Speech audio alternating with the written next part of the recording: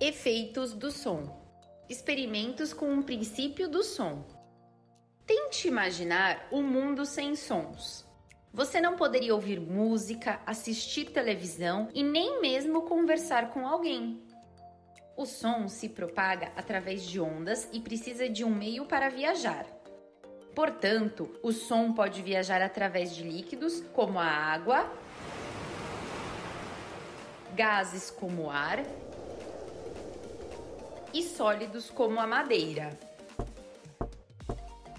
Copos musicais. O que você precisa? Copos, lápis e água. O que fazer? Passo 1.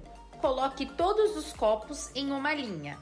Coloque um pouco de água no primeiro copo, o segundo com um pouco mais que o primeiro, e assim por diante.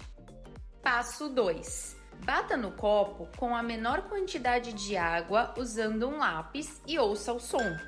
Depois, bata no copo com a maior quantidade de água. Perceba a diferença no som.